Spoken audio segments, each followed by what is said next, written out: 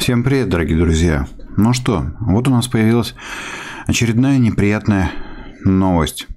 То, что теперь российские брокерские счета, а, российские и граждан, а, относящиеся к РФ, да, могут быть, к сожалению, заблокированы. Так что пока, конечно, не стоит на эту тему паниковать, но такая информация поступила. А сейчас о подробностях. Пока подпишитесь на канал и сделайте репост. Это важная новость.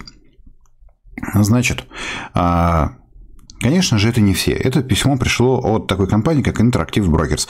Это крупный американский брокер, который в том числе работает на рынке а, России. И вот он написал письмо всем пользователям о том, что а, в связи с событиями, да, которые сейчас происходят, есть риски, то есть он не утверждает, что он будет отключать, но есть риски блокировки брокерских счетов, то есть вы не сможете никаких действий по ним сделать, не вывести, ничего. Будет ли это на самом деле или нет, то есть это такой арест, блокировка, как хотите, так его назовите. То есть, но у россиян таким образом есть на текущий момент риск. Могу сказать спасибо, конечно, интерактиву Брокерсу о том, что данное письмо он разослал и как минимум предупредил всех нас.